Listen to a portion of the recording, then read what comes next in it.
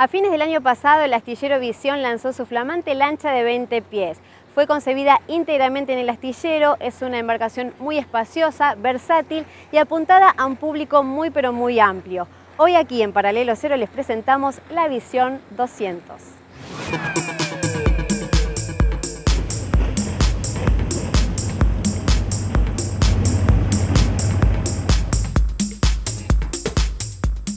Estamos viendo la, visión 200 de, Astillero Visión. Viene a completar un poco el segmento de los tamaños intermedios del astillero. Las dimensiones son 6 metros de eslora, 2 metros 25 de manga y 1 metro 10 de puntal.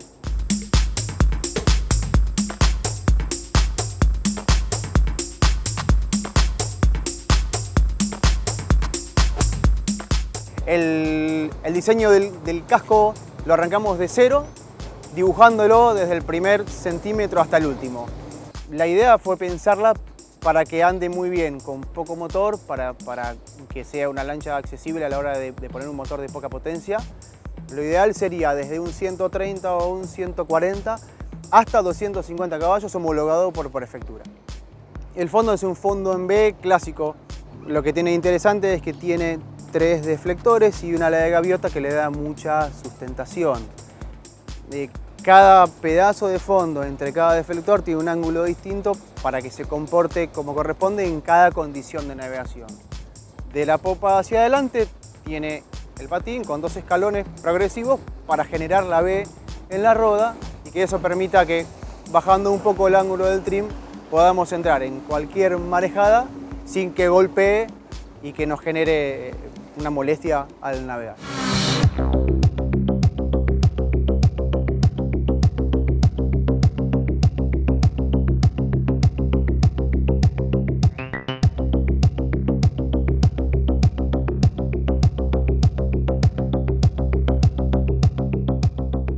Tiene novedades como la toldilla que se guarda debajo de un tapizado. Eh, es comodísima, no molesta durante la salida. Eh, conservadora, una escalera con tapa, en proa tenés mucho, mucho lugar, las butacas son rebatibles y giratorias.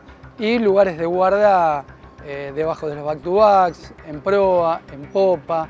Los materiales en general son de primera, realmente están saliendo muy bien y nuestros clientes muy agradecidos de lo que estamos, del producto que estamos haciendo.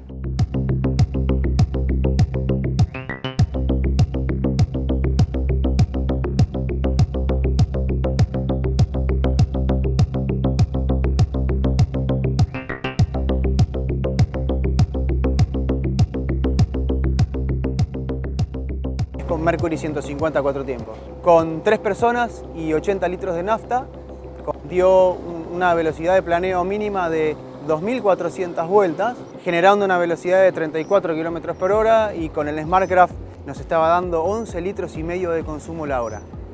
La verdad que son números excelentes.